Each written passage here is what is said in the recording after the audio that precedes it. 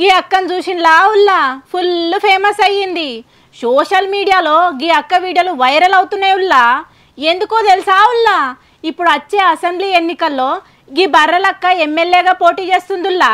ఇగో గివి మా బర్లే హాయ్ చెప్పండి హాయ్. ఇగో నాగర్ కర్నూలు జిల్లా కొల్లాపూర్ నుంచి ఇండిపెండెంట్ అభ్యర్థిగా నామినేషన్ దాఖలు చేసిందుల్లా. ఇదిగో ఇండిపెండెంట్గా ఎంతోమంది నామినేషన్లు వేస్తారు. మరి గీ అక్కనే ఎందుకు ఫేమస్ అయిందో తెలుసా ఉల్లా? శిరీష అనే అక్క డిగ్రీ వరకు చదువుకున్నదుల్లా.